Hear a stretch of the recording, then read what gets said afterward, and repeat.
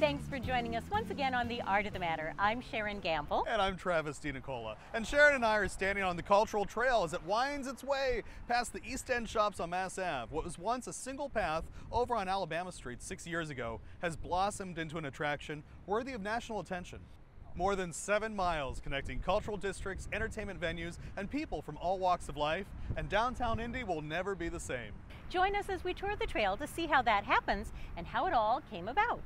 After 12 years of planning, six years of construction, the eight mile Indianapolis Cultural Trail is now complete.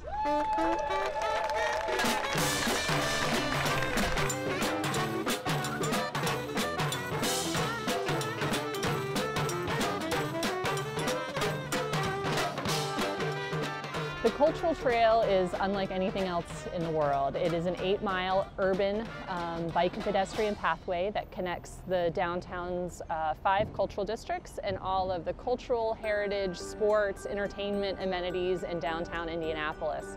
And instead of being a trail that takes you outside of the city, it's a trail that brings you inside the urban core and encourages you to explore its culture. Really what's very unique about the Indianapolis Cultural Trail is that we have this multi-use path, which lots of cities have, but it actually runs through an urban downtown area. The city made the really bold decision to take away a lane of vehicle traffic and give it back to the uh, pedestrians and bicyclists. And you won't find probably any other major city that's willing to take that risk. A risky idea when first imagined, the Cultural Trail has quickly grown into one of Indianapolis's crowning achievements. Serving as the downtown hub for the entire central Indiana Greenway system, the Cultural Trail was always meant to be more than just a simple pedestrian path.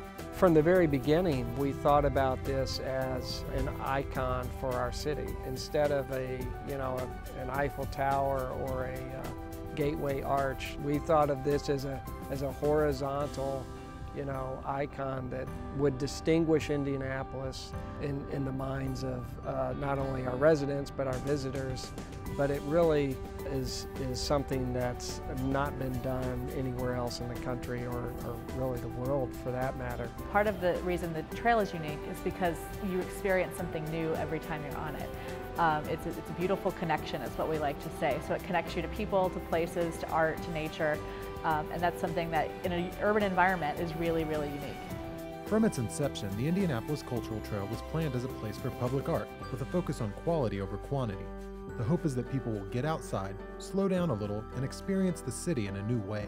The trail wanted to focus on connecting cultural districts, supporting art and culture. So in and of itself, it's kind of not about just the destination, it's about the journey. So while you're on the cultural trail, you're experiencing high levels of high quality design through the materials, through the consideration of wayfinding. There's not a lot of signage, so you know you're on the cultural trail because when you stay on the designed pathway, you always kind of know where you are. I think the trail is really a part of the solution of Indianapolis becoming a more healthy and a more fit city.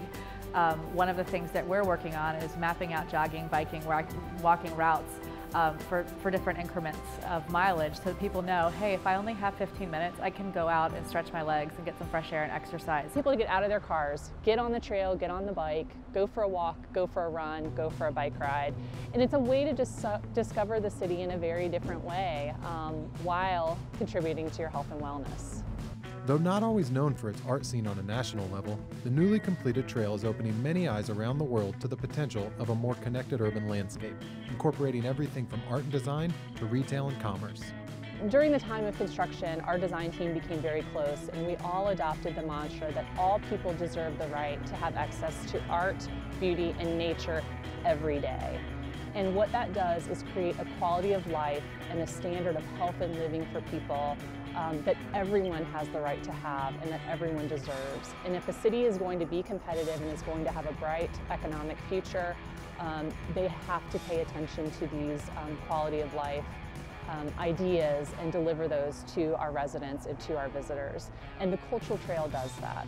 Until you actually get out on the trail and walk it and bike it, um, it's, you really don't have a good feel for what the experience really is. It's our trail. It's a public asset and we want people to use it to celebrate it. Come out and experience it. See what this new space is like in Indianapolis. Um, see what the potential is to be living in a connected urban downtown.